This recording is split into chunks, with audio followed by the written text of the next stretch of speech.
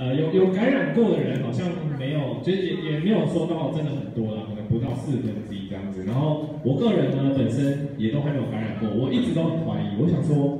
理论上我每天应该都跟不少的病毒接触，对，然后竟然都没有感染过，对，然后我也一度怀疑说我会不会是天选之人，大家都会觉得自己是天选之人，都会觉得自己是所谓的无症状，或者是碰到病毒不会有事，所以我每个月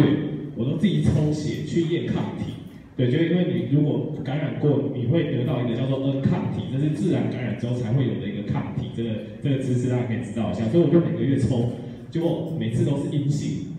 我就很伤心。就就因为其实你当很多人都感染过之后，你反而希望你自己早就被感染了，觉得自己早就有人抗体。所以我觉得那个一开始大家疯就怕的要死有没有？然后等到越来越多人感染，大家越来越发现，哎，其实好像大部分人跟感冒差不多，哎，好像没有那么可怕，哎，大家就越来越去接受它。哎，当然。我们今天讲的主题跟新冠非常有关系，但是因为大家那个新闻上啊，或者是这一两年来已经听过太多新冠相关的东西了，所以我不会特别 focus，我不会特别在讲新冠病毒这个东西，因为大家都太熟悉，被洗脑太久了，在听你也可能觉得无聊了，所以我今天会讲新冠。跟它有关的一些知识，就是大家可能在一个后疫情时代，你要注意到哪些事情，然后包括困扰很多人的，很多人有，比如说得完新冠，或有些打打完疫苗得了所谓的带状疱疹，有没有？大家应该有些人有得过这个，或你的家人有得过这个带状疱疹，或者是哎，其实有些人他有肺炎的状况，哎，他也不是新冠造成的，哎，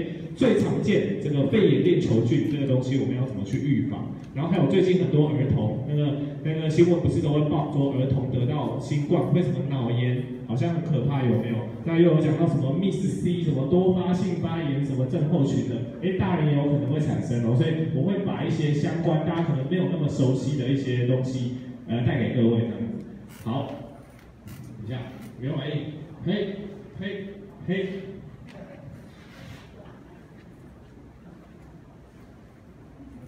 有。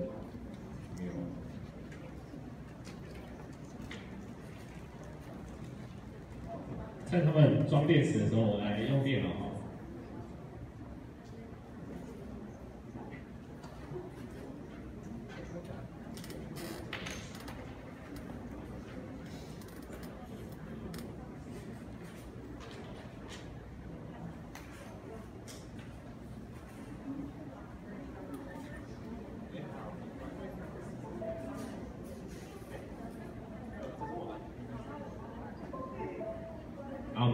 先来用暗的，好，那总之经过后面那天，我觉得大家的生活习惯改变了很多啦。就是像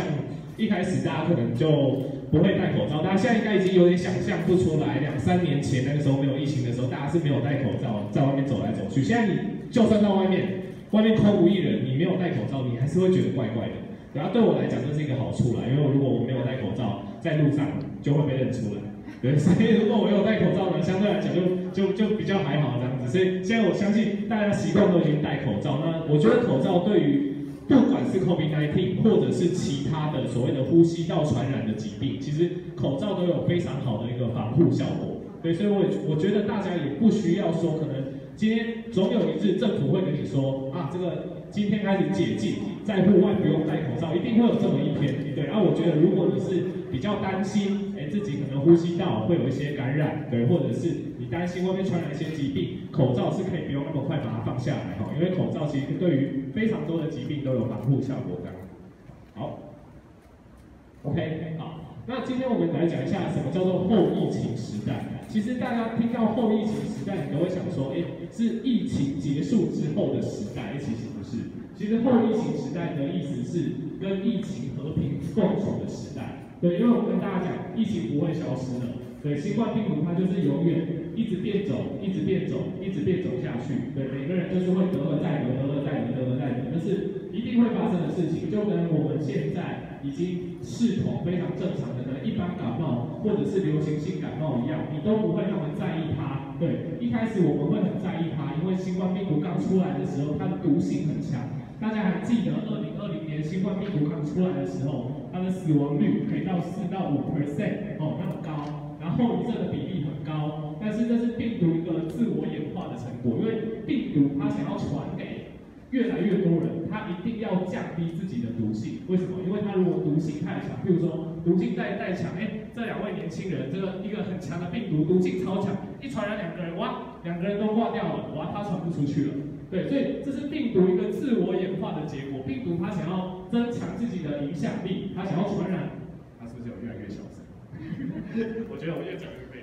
就是他想要越传越多人，他要让他的这个传播力达到最高。所以病毒它最终一个演化的结果，就是会让它的传染力越来越高，但是它的致病率、它的重症率都会越来越下降。对，所以得到的人，哎，大家都跟感冒一样，照样去吃饭喝酒，传染给其他人，越传越多，越传越多。所以这就是病毒它走到最后会一个就会转变成这样的一个趋势。所以新冠病毒它到最后，你看现在我们我们现在是什么 BA two 嘛，然后现在新闻又说什么 BA four、BA 五，哎，这个次亚型好像又传进台湾了，又开始感染了。反正一定会一直变，一直变。可是你就会发现说它的致病率、它的这个重症率也越来越低，它最后就会跟感冒差不多。对，所以基本上我们在后疫情时代就是要学会怎么跟这些病毒共存这样子。那大家还记得二零二零零三年的 SARS？对，就是应该蛮多人对 SARS 还有印象。SARS 那个时候它也是一种冠状病毒，但是 SARS 为什么可以完全封锁清零，然后就不见了？因为 SARS 那个时候死亡率太高了，SARS 的死亡率高达十五到二十 percent。五个人得 SARS，一个人会挂掉，所以 SARS 那个时候就是经历很惨烈的那个和平医院的和平医院的封院嘛，对，把一堆确诊的关在里面，然后用非常强烈的封锁。虽然说那个时候感觉也是一个悲剧啊，但是因为它就是一个致死率太高的疾病了，所以变成我们只要把得到病的人阻断，哎，这个病就消失了。但在新冠的年代已经不可能了，对你不可能靠什么，比如说又在什么封城几天，然后什么。外面的人完全不能进来，我觉得在目前传染力那么高的状况下，靠封或者是去靠就是很强烈的封印的措施去把这个病毒把它完全清理，我觉得不符合这个病毒的特性。所以其实现在全世界在做的就是跟这个病毒共存，然后把它的伤害降到最低哦。好，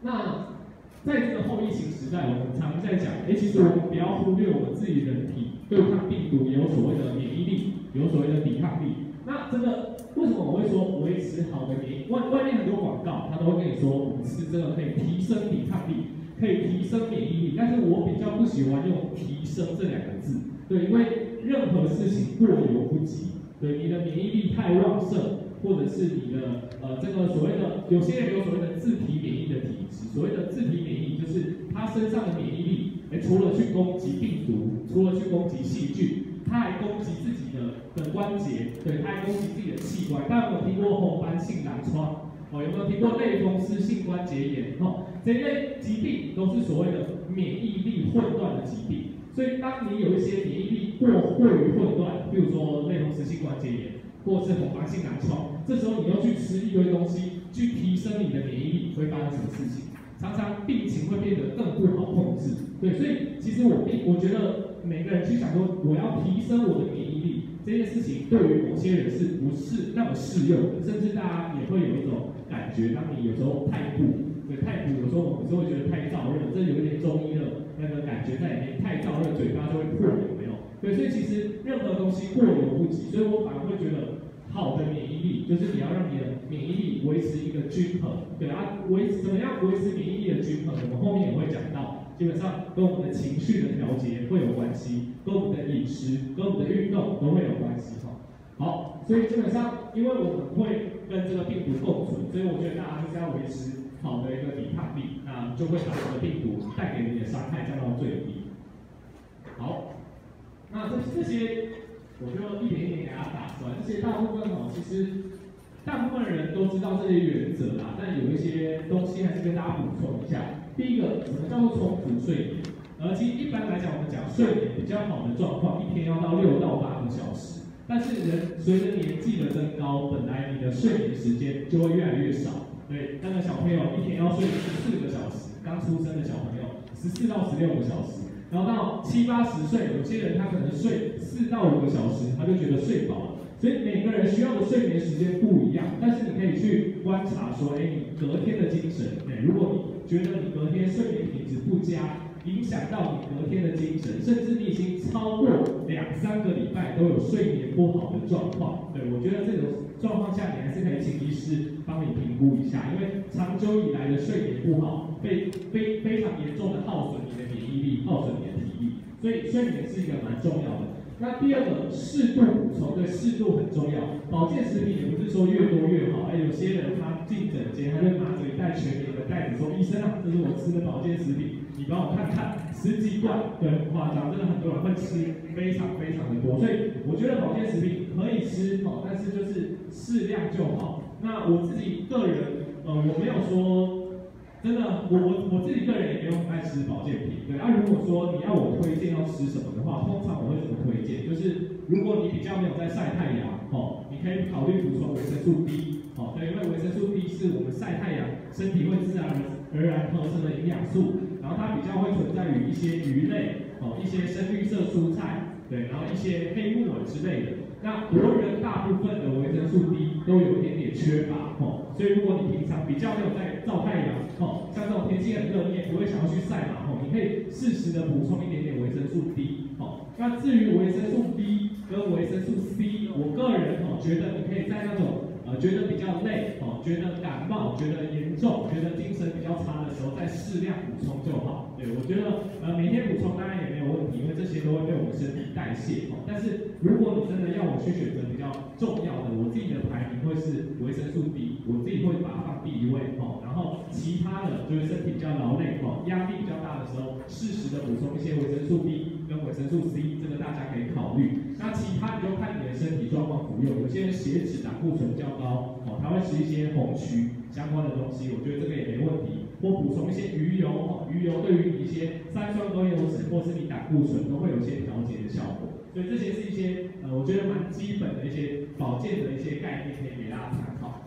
那第三个，不过度防护，对，因为我觉得不过度防护也蛮重要。我相信你今天，你各位会出现在这里，你一定不是不过度防护的人，因为过度防护人，他这时候一定还把自己关在家里，他不敢去过全聚生活，他还是觉得病毒很可怕。对，我还记得我前几个月有个家长带着他小朋友来看我，哦，他小朋友两岁多，大概两岁十个月左右，然后他带来他就说，哦，他小朋友发烧，哎，有些感冒症状，然后，然后我想说，小朋友两岁十个月嘛，理论上小朋友从零岁养到两岁多，那家长应该都已经见过很多感冒生病的场景了，我就跟他妈妈说，哎，妈妈，这个小朋友会感冒有点发烧，你就照你之前那个。那个感冒的一些经验去去处理就好了，就先退烧，观察精神活力。然后你知道妈妈回答什么？他妈妈说，他到现在都还没有感冒过，这是他第一次感冒，两岁十个月哦。然后他说他第一次感冒，然后我想说，怎么可能？就是这超出我平常的认知。对，因为一般来讲，我儿科医生看最多感冒就是在在那个那个六个月失去妈妈抗体的保护，所以大概六个月到两岁就有群聚时候就开始疯狂感冒。他妈妈就说，自从新冠疫情出现之后，他的小朋友再也没有出过家门，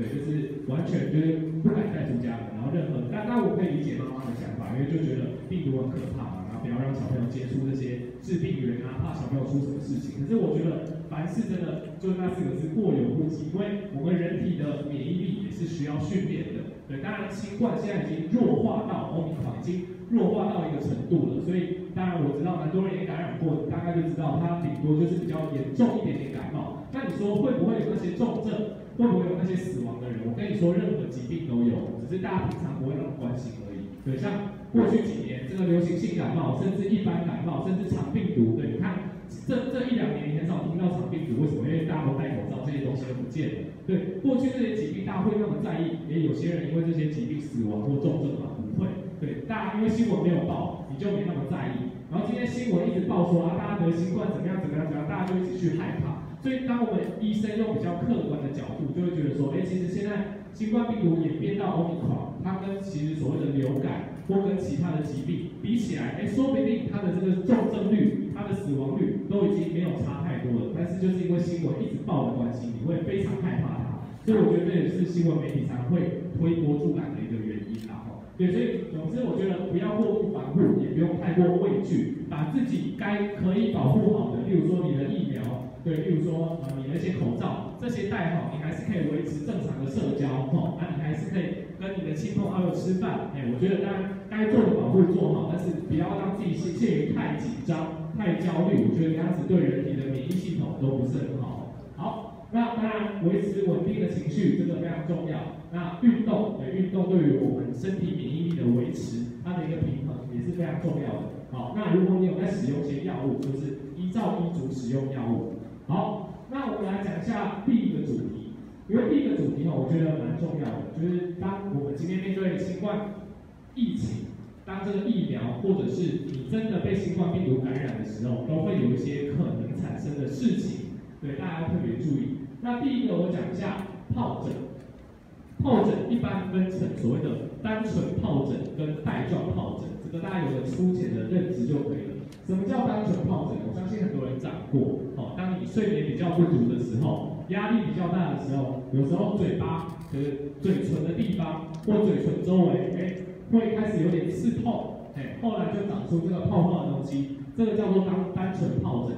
疱疹类的东西，哎，汗疱疹除外，汗疱疹是另外一个疾病，汗疱疹就是手跟脚因为痒的要死，那那个是另外的疾病，我们今天不谈那个，我们今天讲这个嘴唇的疱疹跟带状疱疹。这一类疱疹的疾病永远不会好，永远不会痊愈。好，它好了，只是它不见了，它隐藏在你身体里面。等到下一次你睡眠不足，你压力大，哦，你可能又被感染到比较重的疾病，身体状况比较虚，它又会再跑出来。哦，所以跟这类疱疹类病毒最好的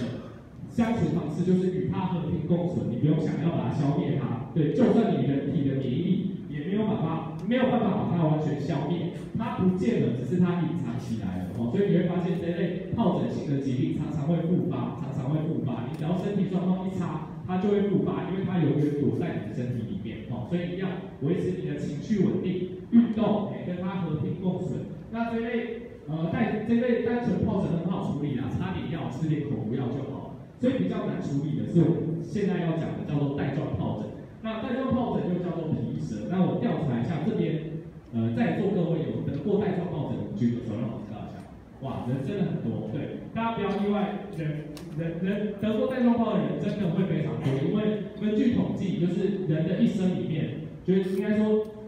总体的人数大概从你出生到死亡，有三分之一的人，超过三分之一的人都会得带状疱疹，对，每三个人就至少会有一个人会得带状疱疹。而且有些人会反复得很多次，哦，所以这个疾病大家要特别注意。好，那今天早上也也有另外一个先生来看我，哦，他就说，哎，医生，我那个胸口最近有点胸闷刺刺的，对啊，大家觉得胸闷刺刺的，最近看新闻又看多，都会觉得什么心肌炎之类的，对，然后我一打开他胸口，也就红一片，我就说你在戴状疱疹，对，带状疱疹基本上它一开始的表现就是它长在皮肤上，一开始你会先皮肤红。然后觉得刺刺的，然后这时候你可能会觉得好像还好啊，但过了一两天，它就会长水泡，哦，这就是带状疱疹。那为什么叫带状疱疹？哎，好，我们先看一下它的发生率。大家可以发现，它的发生率差不多以四十五岁为切点，大概四十五岁以上以前都是带状疱疹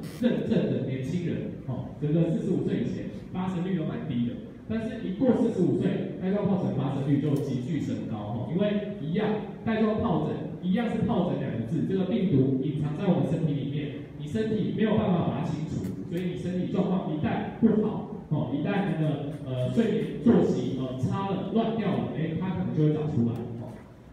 好，那带状疱疹它是一个什么样的病毒呢？可能大家我不知道大家有没有印象，小时候你可能有得过水痘这个病，对，得过水痘这个病。因为在座各位大部分，我相信这位这两位年轻人小时候可能打过水痘疫苗，你们几岁？方便问一下？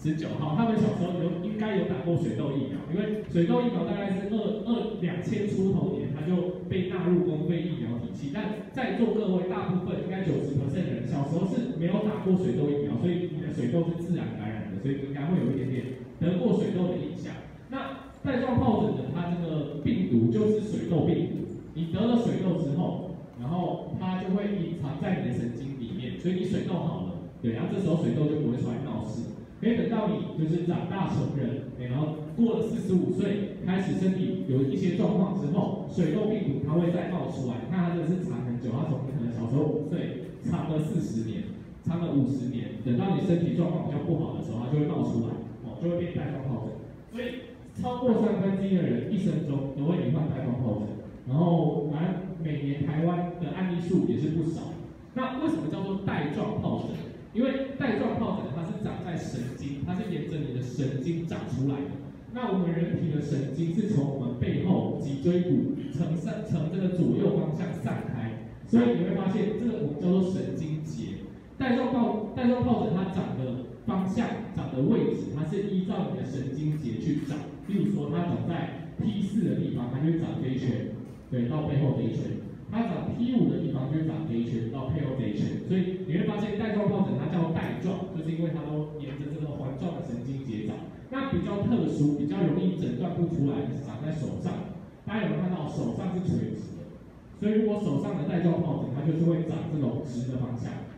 那脚上也是，脚的话，例如说它如果长在 S two 这个地方，它就是这样子直的长上去，然后又直的长下来。对，所以带状疱疹只有在你的身上它会是带状的，它在你的手脚是垂直长的。所以你不要以为，哎，手脚就不是带状疱疹，不一定哦，任何地方都有可能会长带状疱疹。好。那就考大家一个小问题：带状疱疹会传染吗？也这是一个小问题，大家想一下。就例如说，假设今天这位小姐她身上有带状疱疹，那隔壁会不会被传染？大家想一下。不会。不会。大部分人都觉得不会。对，没错，带状疱疹不会传染，因为就像刚刚讲的，带状疱疹是你小时候得的水痘，然后大家身大家身上都有水痘。对，你们你各位各位身上都已经藏有这些水痘病毒，所以这个病毒对你来讲也不是什么新的东西，只是你为什么不会得？因为你免疫力好好的，所以你就不会得。所以哪怕你身旁的人带状疱疹长得多多又多多，这个东西对你来讲，你免疫力就是会把它压下去。但是有一个状况会感染，什么状况？一岁以下的小朋友，你要不要？你不能跟他接触，为什么？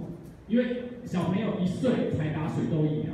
所以如果你去接触一岁以下的小朋友，他会变水痘。要小心对，因为它是水痘病毒，所以大家要记得，如果你身上长带状疱疹，你不要去接触一岁以下的小朋友。啊，如果是一岁以上的小朋友就比较没关系，因为现行疫苗就是在一岁的时候我们就会打水痘疫苗，所以大概一岁以上的小朋友就会对水痘有点抵抗力了。好，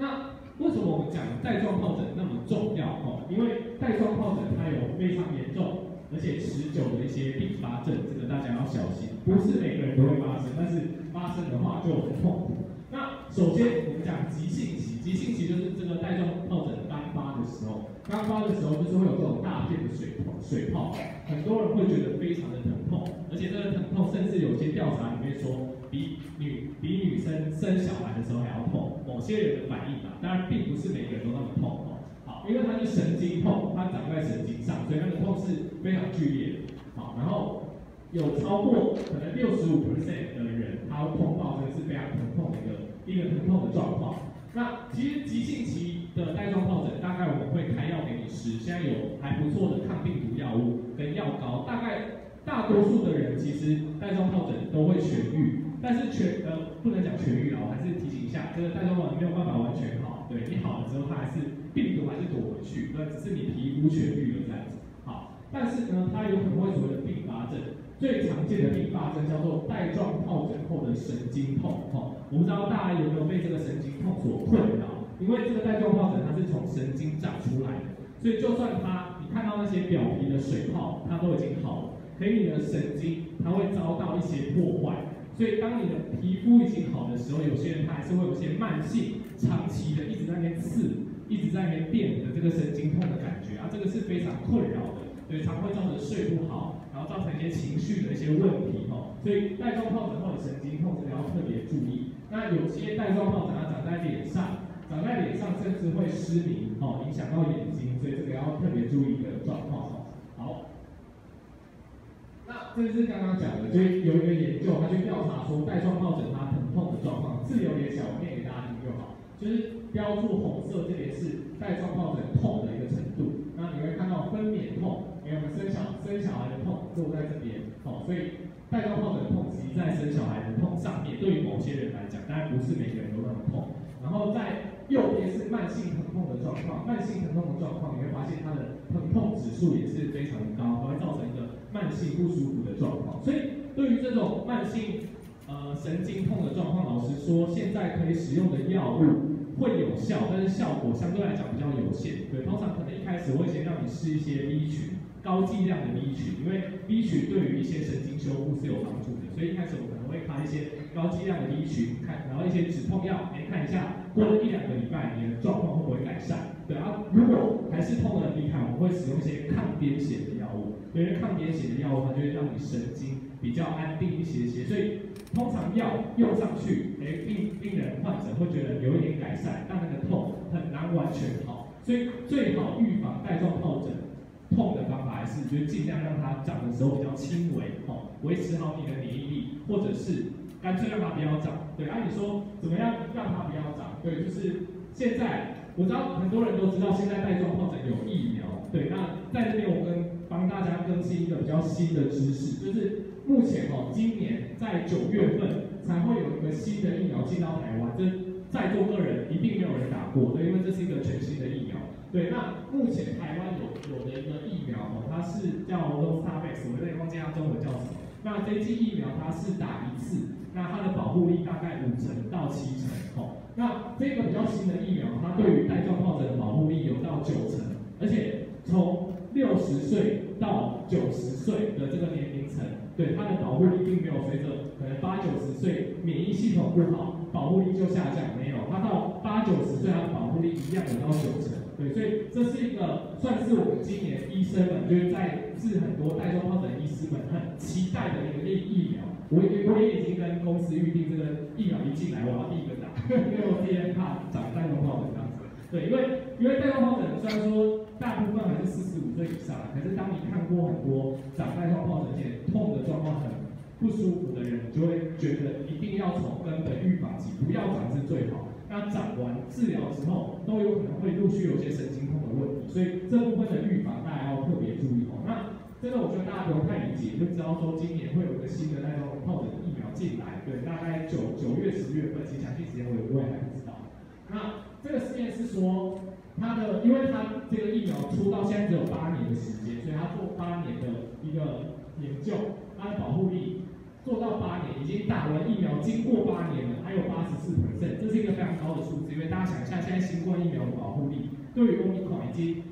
没有什么保护力，老实说，它没有什么防感染的保护力，那防重症的保护力还不错。对我们是说防感染。那这个带状疱疹疫苗，它对于防止它感染、防止它产生的保护力，经过八年还有八十四 percent，那前三年大部分都在九十 percent 以上，所以我觉得是一个非常好的新可以提供给大家参考。好，所以第一个部分，所以第一个部分先跟大家讲一下这个带状疱疹的部分。那第二个部分跟大家讲一下肺炎，对，因为肺炎吼这个疾病，大家当然是在新冠肺炎之后才对肺炎这个疾病觉得比较熟悉，就没有去理解它。但其实呢，肺炎你从以前，呃，这是去年啊，二零二一年的十大死因，其实你在更更早就往前翻的话，你会发现肺炎哦它一直都在所谓的十大死因的第三位，对，就是第一名永远是恶性肿瘤。就是癌症啊，所以永远是十大死因的第一名。然后第二名就是心心血管疾病，就一些心肌梗塞啊，对，然后一些那个心脏衰竭之类的。然后第三名就会是肺炎。所以肺炎它一直以来都是一个蛮重要的疾病，是因为 COVID-19 起来之后，大家才对这个疾病更更有印象这样子。好，那这是一张肺炎患者的 X 光片哦。那呃，大家知道这两片黑黑的是什么？对，这这里肺部。为什么肺部会呈现黑色的？因为我们 X 光片打就打打过去你的肺部的时候，它遇到空气，它就会变黑色。对，所以你的肺其实大部分是空气，所以肺就会变成那个比较黑的一些。那中间白色这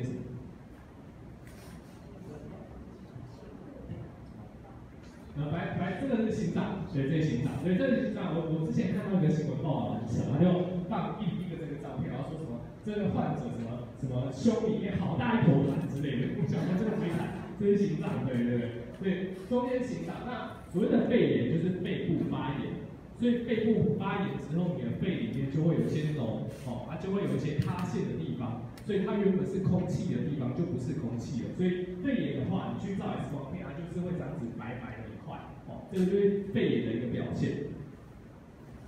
好，那讲到肺炎，我们就要讲一下肺炎、新冠。我们讲一下新冠肺炎跟肺炎链球菌。因为大家常会把这两个东西搞在一起。那哪些东西会造成我们得到肺炎呢？基本上病毒有可能，像新冠肺炎它是新冠病毒，所以病毒有可能会造成所谓的病毒性肺炎。那再来细菌也会，细菌会造成所谓的细菌性肺炎。所以这两个治疗方式不太一样。对，像病毒造成的肺炎，像新冠肺炎，我们就要用新冠的药去治疗它。哦，那像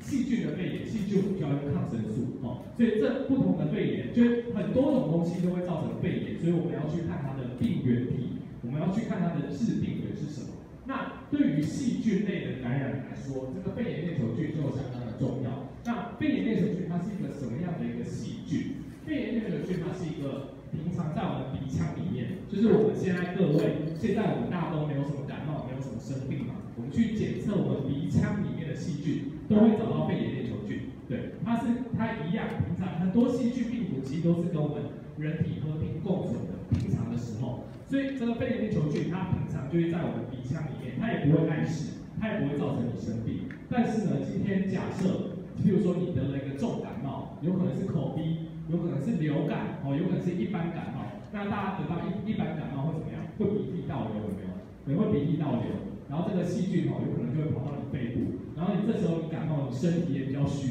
你免疫力也比较不好，所以这一类所谓的肺炎链球菌，这一类所谓的细菌性肺炎，你会发现常常就是在一些小感冒之后，哎，人越来越不对劲，越咳越厉害，其实就是鼻腔、口腔这些细菌，它随着你感冒这些鼻涕倒流，或是你身体状况比较不好的状况下，哎，它就跑到你的气管去感染你的肺部，哦。所以这个常常是这个就叫做所谓的呃，就是呃有有一呃呃这个该怎么讲？就是通常是前面你会有一个感冒，会有一个病毒引发后面的细菌感染，对。但是你如果没有前面那个小感冒的话，基本上不太会说直接这个病直接这个细菌就入侵你。所以这个我们叫做一个次发型的细菌感染。所谓的次发型细菌感染，就是永远前面都是有个事情，它去造成这个细菌去入侵你。所以肺炎链球菌就是一个这样子的状况，所以很多老人家他其实就是在感冒之后就变肺炎，然后或者是有些人他呛到之后，因为我们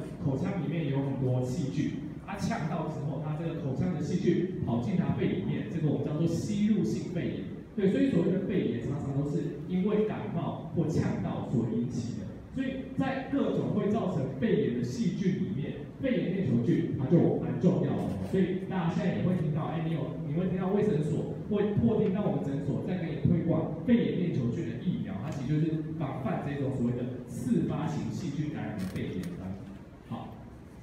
那哪些人呢？当然年轻人比较不用担心，因为年轻人不是什么高危险群。但是目前是建议六十五岁以上，对，因为其实随着年纪增长，我们的免疫力都会比较低。那五岁以下的小朋友，我觉得家长也不太需要担心，因为现在公费的肺炎链球菌疫苗已经有打三剂，就是两个月、四个月跟一岁，所以本身就有公费疫苗在做肺炎链球菌的保护。好，那脾脏功能的缺损，这个大家如果有得到这个疾病，应该知道，大部分是外伤去撞到脾脏，脾脏大出血就会把脾脏摘掉。对，脾脏是你身体左侧的一个器官，它是一个免疫器官，对，所以你的脾脏如果受损，摘掉，你的免疫力也会比较差。那这些都需要打疫苗。那有一些先天或后天的免疫不全，对，那先天免疫不全，这个大部分就是人口的一些罕见疾病的病人。那后天的免疫不全最知名的、最知名的，当然就 HIV，就是艾滋病毒的感染。哦，艾滋病毒感染会造成一些后天免疫不全，或者是如果你有得到癌症，哦，你有在做什么化疗，哦，你有在做一些全身性，或者是你有一些自体免疫疾病，在使用一些免疫抑制剂。哦或者是你有接受过器官移植，器官移植也要吃免疫抑制剂，哦，这些有在使用化疗或免疫抑制剂的病人，都是属于免疫功能比较不全的，哦，所以你会发现，那个打疫苗的时候，这些都会让你多说什么有没有在接受什么免疫抑制剂或化疗啊，主要是这些状况都会让你身体的免疫力会比较差一些些，哦，好，那人工耳，对它比较容易会感染你的整个，呃，就是你的内耳跟你的整个脑神经的部分，所以这个也要注意。那在慢性疾病患者，有些呃糖尿啊、血糖啊、血压啊，哦，血压通常比较还好，大部分是血糖，血糖影响你免疫力的问题会比较大，哦，那在一些慢性肾脏、心脏病，这个都要比较注意。好，那肺炎链球菌疫苗，很多人有一个问题，因为肺炎链球菌疫苗有十三价跟二十三价，我不知道大家有没有知道这个区别。对，这两种疫苗的区别其实蛮大的，而且很多人搞不太清楚。那我讲简单的版本，简单的版本就是十三价。虽然说你看到它数字比较小，但它其实比较厉害，大家记得这一点就好。对，就是因为一般人直观你会觉得哦，十三价、二十三价，那我刚刚打二十三价，我干嘛打十三价？对，但是这是因为制造技术的不同。对，十三价它可以去刺激你身体的免疫力是比较好的，所以它的保护力可以到九十五。对，那二十三价，对它的保护力大概只有七十左右。哦，所以简单来说，虽然说十三价看起来好像比较弱，但它打进你体内，它的产生保护力的那个持续性跟那个有效性是比较好的。哦，所以十三价基本上它出生满六周以后就可以打。对，那它打一剂，小朋友通常打完，青少年就不用再打。但是老人家，我们会建议六十五岁以上，你再打一剂，大概它就可以持续十到十五年，它可以持续蛮久的。哦，但是二十三价的话，它的保护力大概只有五到十年。哦，所以二十三价的话，大概每每三到五年就建议，打一次。所以大家如果要选的话，我会建议说，至少十三价你要打过一次。你十三价如果打过一次而已，之后要追加就追加比较便宜的二十三价就好。对，因为这是疫苗一个效力的一个区别。那当然，肺炎链球菌刚刚讲了，因为它藏在我们的鼻子里面嘛，所以今天你得到 COVID-19，你得到这些感冒，它去刺激你的鼻子，那这些细菌，哎，它去感染到你的肺部，所以肺炎链球菌的疫苗发现跟 COVID-19 也会有一些关系。那也就是说，发现六十五岁以上的民众，哦，如果有打十三价肺炎链球菌的疫苗，他又得到 COVID-19，那他的一些住院率、死亡率都比没有打这个。肺炎链球菌疫苗的人低了三成，所以它其实也会有所谓的交叉保护。对，但是如果你今天问我说，哎，那吴医师，那我问你，我今天打肺炎链球菌十三价的疫苗，我可不可以可不可以保护我，就不去得 COVID-19 啊？我会跟你说不行，对，因为这两者完全不一样的东西。就肺炎链球菌疫苗，它是防肺炎链球菌，它不是防 COVID-19。对，但是如果你今天得到 COVID-19，对，这个这个疫苗它可以防止你。就是这些鼻腔的细菌掉进到你的肺部去产生肺炎，大家可以这样子去理解哦，因为它是一个自发性的细菌感染，所以它们是会有一些关联性哦。好，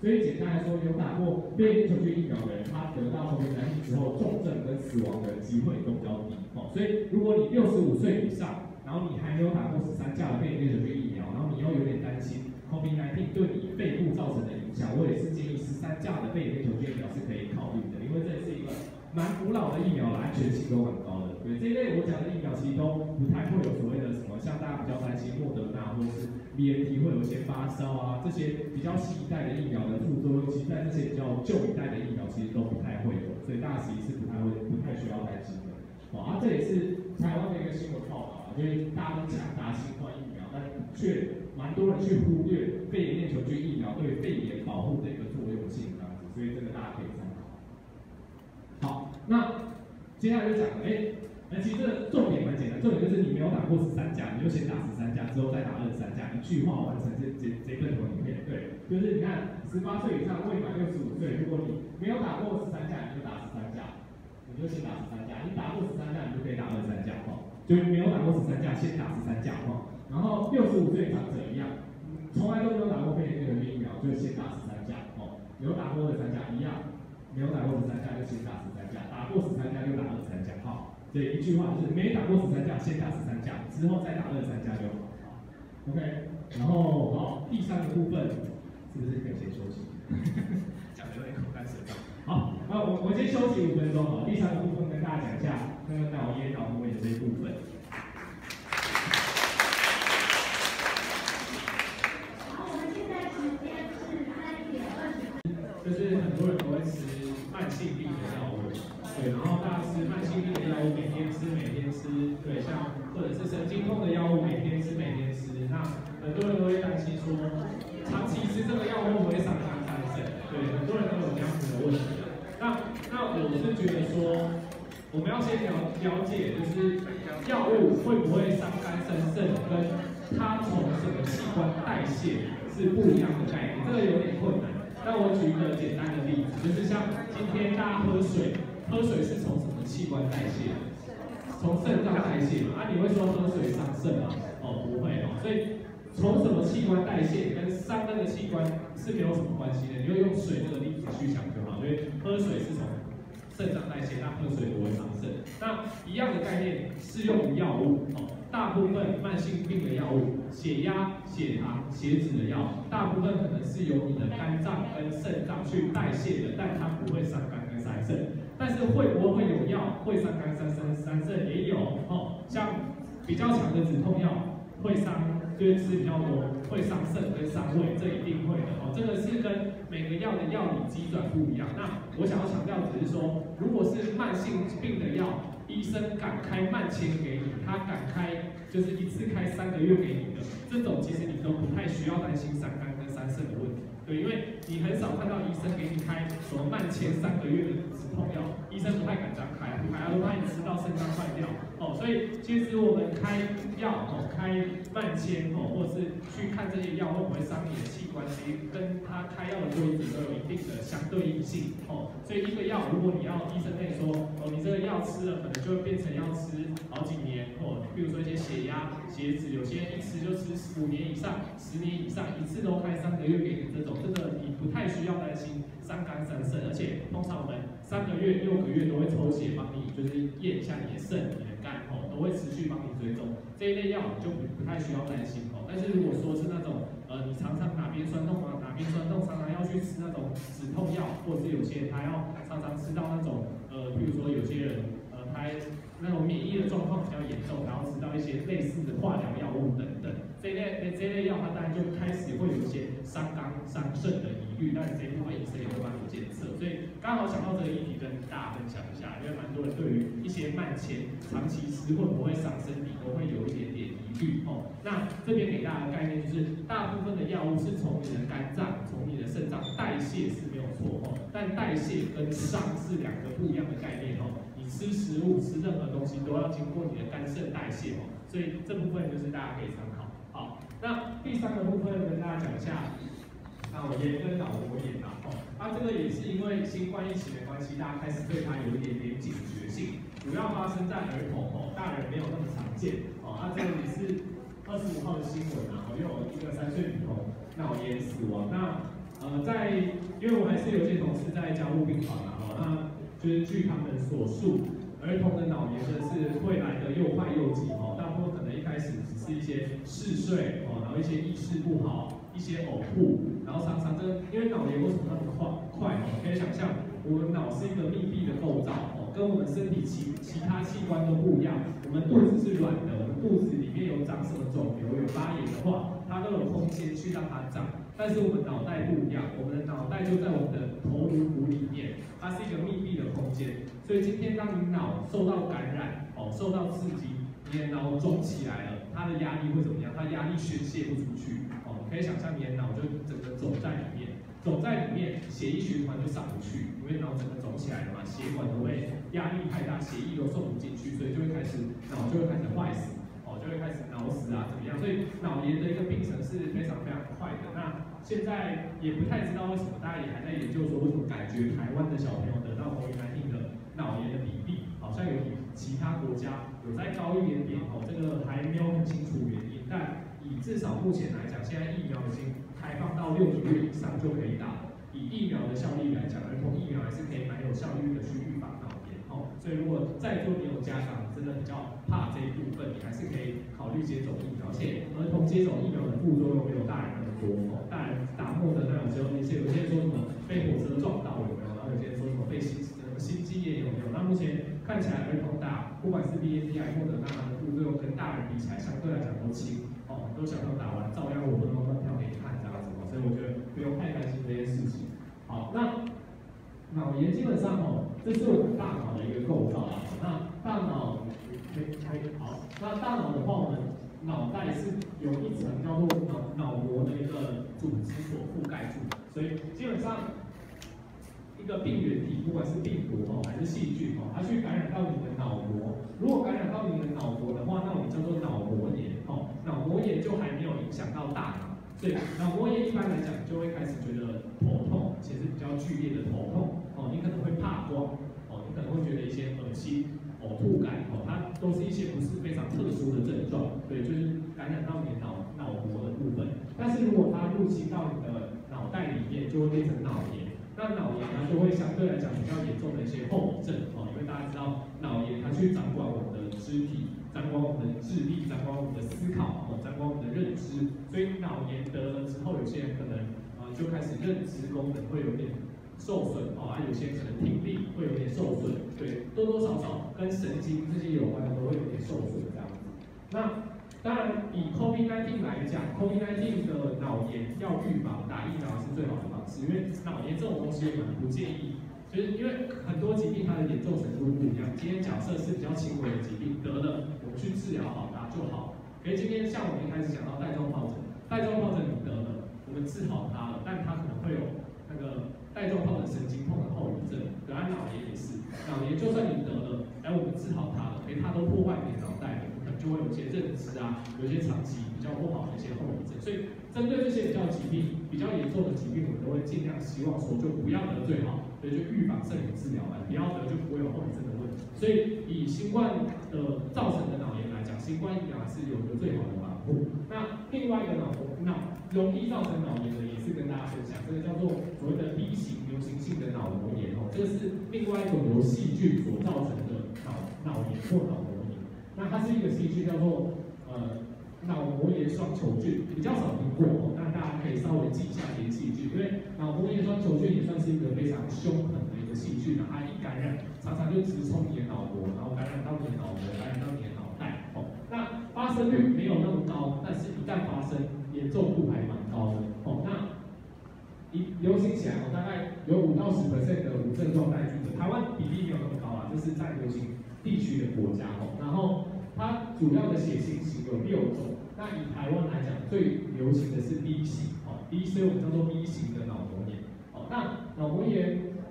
如果你真的比较担心脑部或是脑袋的一些受损，会因为这支细菌感染到脑膜受损的话，目前其实也有所谓的脑膜炎的一个疫苗，这也是今年才刚进台湾，所以今天跟大家更新的都是你去年听到的知识，对，因为去年台湾都没有这些东西，包括那个带状疱疹的疫。所以比较新一代的，然后包括这个一型脑炎，这也是今年才进台湾的。因为我觉得这个东西就是国外相对来讲都行之有年啦，但是国外的一些疫苗或药品要进台湾，其实都需要卫福部的一些审核。所以有时候一审核常，因为审核常常又要在国内做一些安全性或做一些有效性的试验，所以常常跟国外的上市时间会隔个三五年之类的。所以其实这些东西在国外都。都算是有大规模数据。我觉得 COVID-19 的疫苗比较像是疫苗中的例外，因为大家也知道 COVID-19 是来的又快又紧的一个疾病，所以国外疫苗出来，哎，不久之后它会发合格了。然后到台湾，其实这个时间也不过是几个月。所以我觉得 COVID-19 的疫苗，当然有些人会对它的安全性有点怀疑，对，因为主要就是这个病来的又快又急，但你也不能怪人家，因为就是因为要这个病，我们需要赶快这个疫苗出来嘛，你也不能说哦，大家先停止，我们先审核三到五年。到时候全世界都已经得完，所以我觉得这个东西就变成是一个交换了，有时候你就变成说你要去加速一个流程，那加速这个流程多多少少有些人就会对它的安全性起疑这样子。那我今天讲的这些带状疱疹或是脑膜炎，它其实在国外都已经是至少三五年以上的时间，所以我觉得大家就比较不需要这样子的疑虑这样子。好，所以当然脑炎跟脑膜炎我们还是要注意一些症状，例如说婴幼儿他婴幼儿没办法表达哦。所以我们就要注意有没有一些高烧哦。如果高烧有超过四十度、四十一度，要不要注意，因为一般正常的发烧可能到四十点五度，差不多是极限哦。因为我们人会去调控发烧的温度，理论上你就想象你这辈子最高温发烧点多四十度、四十点多度，如果超过四十一度，那个通常代表脑部里面调节体温的那个核心叫下视丘哦，这个地方已经有点被破坏。当你脑部里面的地方被破坏掉之后，你的发烧温度有可能会超过四十一度哦。所以如果真的高烧有超过四十五点、四十点五或者四十一度，你要特别小心哦。那婴儿出现呕吐、躁动、活力变差哦，这个都要注意是不是可能新冠或是其他疾病造成一个脑炎、脑膜炎的征兆。那成人的话。就要注意剧烈的头痛哦，因为感染到脑膜会有剧烈的头痛，会怕光哦，那一样会高会高烧，会恶心呕吐，会神志不清啊。如果你恶心呕吐伴随拉肚子，大部分是肠胃炎哦，不用太担心。但如果是剧烈头痛，痛到恶心呕吐，这个你就要比较注意。好，那当然不管是任何炎，或是我们今天讲的这种 B 型的脑膜炎或脑炎，它其实在呃年纪小的小朋友，像 COVID-19 也是一样，在儿科，其实我觉得儿科是一个相对容易好发脑炎或者是脑膜炎的一个年纪哦，所以家里有小朋友的话要特别小心。通常年纪越小，发生率会越高。那再来，呃，青少年因为有一些宿舍的群聚哦，也会有一些关系。那再来就是六十五岁以上哦，所以这些族群都要特别注意。好，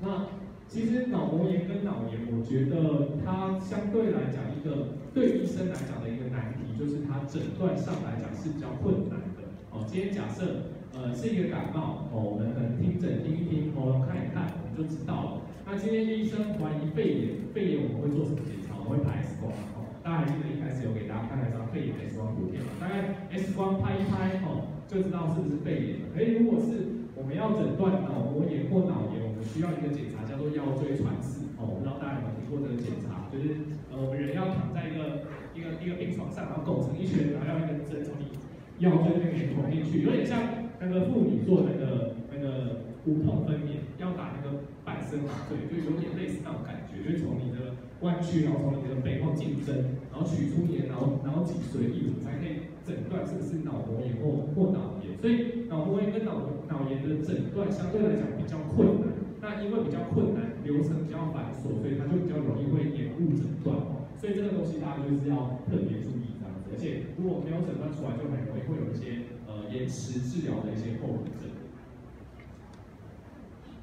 好，那这个是脑膜炎双球菌的感染者，就皮肤可能会出现一些出血斑的状况。那这个是。没那么常见的，老实说，这个连连我在就是连我之前在那个台大儿童医院的老师都说，这一年可能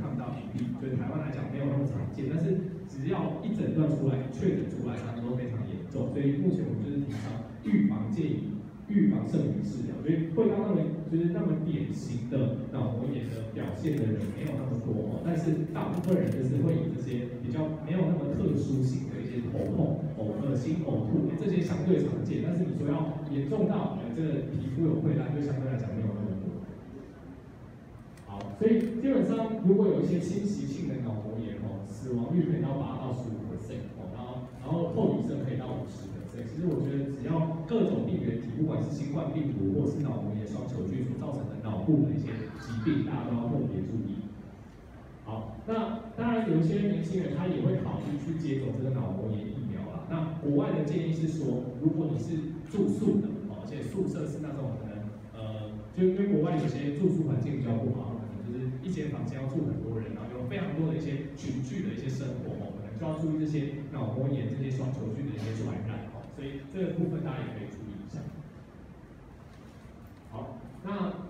最后我跟大家分享一个可能蛮多人很有兴趣的议题，叫做长新冠哦。对，那长新冠，我觉得这个词有一点点被滥用，或者是有些人说新冠后遗症哦。大家要先注意一下它的定义哦。它的定义是说，大家看第二个，症状症状要持续两个月以上，甚至国外有些它对 long COVID 就是长新冠的定义，就是说感染新冠病毒之后的一些不舒服症状要持续十二周三个月以上，我们才会定义叫长新冠。为什么这个定义那么重要？这个就代表说，如果你是前一两个礼拜得什么 COVID 得 COVID-19，然后你现在是一两个礼拜之后说，哦，医生我还在咳，我还有点不舒服，我我会不会是长新冠？我就说不是。这是正常的身体在恢复的过程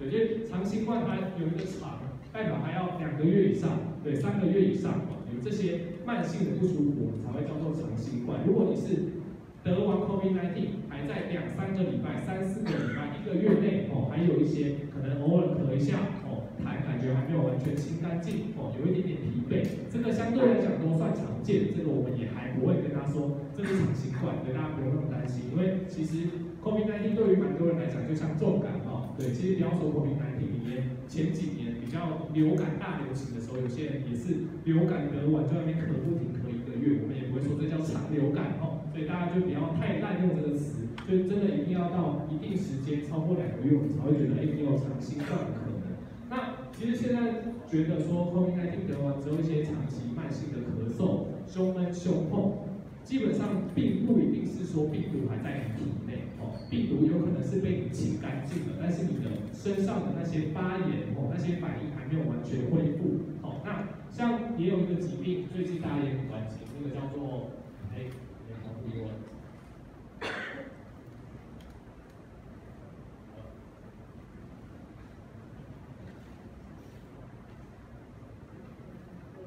对，所以这个这个疾病最近新闻也一直在报了，好吧？大家可能也有听到，这个也是发生在儿童身上哦，这个我们叫做 Miss C 哦，Miss C 是一个得完 COVID-19 之后一个全身发炎非常严重的一个状况哦。那他那要注意的是，像我们有 Miss C，我们也有 Miss A，Miss Miss C 跟 Miss A 是什么？C 是 children 是儿童，哦，那 Miss A 是 A 是 adult 成人，哦，所以其实并不是只有儿童有这个多发性发炎，连成人也有可能。但其实成人大部分是在十九到三十四岁啊，就越年轻越会得。那 Miss C 就是儿童的年纪，哦，那什么叫做 Miss C 呢？这个大家也要注意，就是家里如果比较年轻一辈的人，大朋友、小朋友，哎，如果他们在得到 COVID-19 之后，两到六个礼拜的这个期间，他不是得到 COVID-19 那三到五天，不是，他是已经痊愈了。他得完 COVID-19 之后，他已经好了，他已经不发烧了，烧已经退了，也已经不咳了。然后是得到 COVID-19 之后，两到六个礼拜这中间，哎，开始又高烧，哦，高烧而且找不到原因，通常要烧超过三天，哦，然后会有一些全身出疹子，然后眼睛发红，然后有一些就是休克啊、意识状况整个改变，然后有些很严重的肚子痛、拉肚子，这些在感染 COVID-19 之后二到六周的产生这些症状，我们要担心是所谓的 Miss C。哦，那什么是 Miss C 呢？它是叫做所谓的多系统发炎症候群。那研究是发现说，当我们人体被这个 COVID-19 病毒感染之后，我们人体的免疫系统要活化，那我们人体免疫系统活化要去把这些病毒清掉。哦，但是有没有可能今天我们人体免疫系统活化了，病毒清掉了，但是我们人体免疫系统它没有顺利的降回到正常值？也有可能。所以这是目前 MIS-C 这种疾病的一个理论哦，就是当你被这个外来的病原体感染，你身上启动了发炎反应，启动了免疫反应，但是你这时候 COVID-19 病毒已经被你清光了、清干净了，对，但是你身上哎这个免疫反应没有完全被压下来，它理论上要调节回正常嘛，但没有，你身体一样继续的发炎，继续的发烧，然后皮肤发炎就是会有这个红疹，然后这个你的眼睛的血管发炎就会发红，所以就可能会产生这个 Miss C。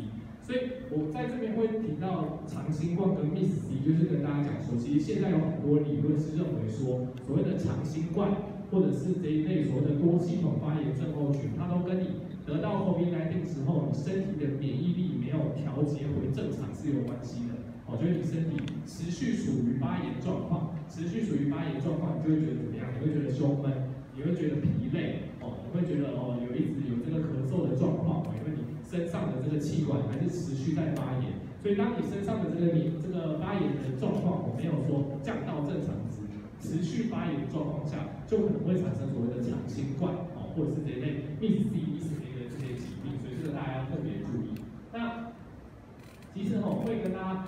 讲到这个，就是讲说我们身上的一个呃精准检测，或是我们身上的一个怎么讲情绪的一个调节是很重要的。因为研究是有发现说，对于那些情绪比较容易焦虑哦，比较容易紧张哦，比较容易睡不好的人，他身上的一些慢性发炎反应，甚至所谓的长新冠的比例，感就是统计上来讲都比较高哦。对，今天领导研究的人分成两组人，一组是那种。比较不会有压力，生活比较悠闲，觉得比较轻松，比较容易放松的。然后另外一组是非常容易紧张、非常容易焦虑的。你会发现，两组如果都得了新冠之后，比较容易紧张、比较容易焦虑的那一组，他可能在两个月后、三个月后，他还是会一直抱怨说：“哦，我好像都会觉得胸口闷闷的、不舒服、疲倦。”哦，研究是发现说，哎，我们身上的这个所谓的自律神经啊，我们情绪的调节，因为会影响我们身体的发炎反应嘛，所以就会影响之后所谓的。长新冠哦，或者一些长期症状的一些表现，所以就是跟大家讲说，我们其实平常靠一些运动哦，靠一些检测去找出我们是不是有一些情绪比较不平衡的地方，然后去调整哦，这个其实都蛮重要的。那一般来讲，这个是夜配时间啊，那我稍微夜配宣传一下，就是一般来讲，如果你有一些比较慢性哦，比较不舒服，容易疲惫，特别是口。到 COVID-19 时候，如果这个状况持续一段时间的话，我们还是会建议你做个基本的抽血检查。对，因为抽血检查其实好几个案例都是这样子被我发现，然后说，哎，我得到 COVID-19 之后，哎，其实我好像觉得比较容易累啊，怎么样？然后因为看一看也没有找到很明确的原因，我就跟先生或小姐说，哎，那我们先抽个最基本的血检查一下。那常常就会发现。可能会有一些比较慢性的问题，例如说血脂真的蛮高的，或者是血糖真的蛮高的。那这时候我反而先不去管他说什么长新冠的问题，我就说，哎，先生或小姐，我们先把这个血压、血糖、血脂，我们先控制下来，让你血液循环比较好一点点。因为大家知道血压、血糖、血脂都会影响我们的血液循环嘛，对，因为它会造成血管的可能末端血管的一些血液循环比较不良等等的状况。哦，所以我就会请他说，哎，你这个血糖我们先控制一下，血脂我们控制一下，然后可能两个礼拜、四个礼拜追踪完，那常常在蛮多个案里面把这些数值指标控制下来之后，哎，他的这些疲倦或是他这些容易头晕、容易头痛的状况就改善了。所以其实我后来就觉得说，呃，有时候并不是说真的 COVID-19 造成，呃，就一直残留在我们人体里面造成我们的不舒服，有时候是我们人体本身就已经有一点微妙的不健康了。可能我们的血压有点高了，血脂有点高了，血糖有点高了，再加上 COVID-19 的感染，会让我们身体的发炎更不容易好。哦，所以这时候我们反而要反其道而行，我们不是去治疗 COVID-19，我们反而是先把自己的身体调理好，哦，先把你的这些三高，先把你这些血液循环的因子去调控好，然后这时候哎，反而症状就改善了。所以如果你身上有一些不明原因的不舒服，是建议这个最基本的检查，包括一些。代谢、血糖、血脂、胆固醇、肝肾功能哦，这个我我觉得我们诊所这个真的是佛心价，我不太知道公司怎么定这个佛心价的。这个你在外面检验所怎么验，至少都破钱，我们三九九那么多项哦，这个是验配时间，让我宣传一下，因为我觉得这个东西对于大家是蛮有帮助的，不管你有没有不舒服，或者是你想要及早去发现身体有一些代谢方面的问题，我觉得这个三九九的套餐大家可以考虑。那关于癌症的一些筛检，这个我也要提醒大家，因为大家现在不管在我们诊所，或是你在外面检验所，或是任何诊所也好，他可能也会跟你说，哎，我们有这个癌症的筛检的协议可以抽，你要不要抽？哦，那这个协议我要提醒一下大家，抽血检验去筛检癌症，老实说，呃，它有一些帮助，但它不是绝对的精准。哦，什么意思？今天你抽血检验。比如说我是男性我说这些癌症指标全部都正常，我可我会不会跟你说，恭喜这位先生，你身上没有癌症？哦，我不会跟你说，它不能代表这样的事情。相反过来也是，我去抽血抽癌症套组，然后结果哎有有几个是红字，我会不会跟你说，哎，你这个可能有癌症哦，你要去检查看看，哎，也不一定哦。所以其实抽血去验所谓的。癌症的指标，它算是一个辅助项目，就是如果你真的很担心哦，是不是某些指标有高，可以验验看，然后针对那个指标再去做进一步检测。它的用处是这样子，就算它完全正常，我也不能说你完全没有癌症哦。所以这个大家要有这个概念，因为它毕竟只是抽血。那你就问说，那我到底要不要？要怎么知道我有没有一些初期的癌症？那你要去做一些所谓的影像学检查，这个也是很重要的。例如说，像女性来讲，就有辅助所谓的乳房摄影哦，乳房摄影就是筛检乳癌的一个非常好的一个方式哦。那男女对于大肠、直肠癌，现在也都有粪便的前血检查哦。那如果前血检查阳性，就会建议你去做大肠镜哦，这个所谓的影像，我们在影像上直接看到你有没有癌症，这个都是最精准的检测方式。啊，如果你有这个肺癌的家族史，你有抽烟，哎，我看现在健保局开始补助，有所谓的胸部、肺部的这个低剂量电脑断层，哦，这个都是比较好去筛检肺癌的方式。那肝脏的话，就是腹部超音波，直接用超音波去看你的肝脏有没有长肿瘤哦。所以其实针对癌症的筛检，记记得这这句这句话，影像学检查永远是最好的哦。抽血只是辅助，抽血可以抽可以看，但它只是辅助项目。你担心癌症，你还是要做影像学检查。针对那个器官去做影像学检查，针对大肠、直肠就做大肠镜，针对肝脏哦，针对肝脏就做超音波，针对肺脏就做电脑断层哦，就是要做这些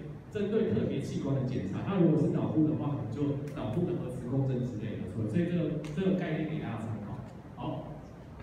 那刚刚讲到神呃我们。自律的神经就是我们的一个情绪的表现，对我们身体的有没有发炎，或是对我们得到新冠之后会不会容易有些长新冠，哎，其实是很重要的。所以跟大家讲一个自律神经的一个概念啊。那什么叫做自律神经？其实自律神经，我觉得是一个医界用来解释一些很疑难杂症的一个被发明出来的一个名词。对，今天就是有一个人他非常不舒服，他胸闷，他头晕，他他他很不他他很疲倦很不舒服，然后我们把他全身的检查都做过了哦，比如说头晕，连脑部都检查过没有问题了哦，然后他可能有这个久咳，连肺部也没有问题，对啊，很疲倦，抽血，什么东西全部都检查过一遍都没有问题，这时候医生就跟你说你可能是自律神经失调，对，就基本上就是这样子，对，自律神经失调，它这个诊断就是这样子来的，就是你要排除你这个人有可能的所有疾病，都排除完之后，你还是持续有这些不舒服，就会说你可能是自律神经失调。那什么是自律神经失调？自律神神经失调简单来说就是我们身体有掌管我们比较情绪高昂的神经，叫做交感神经。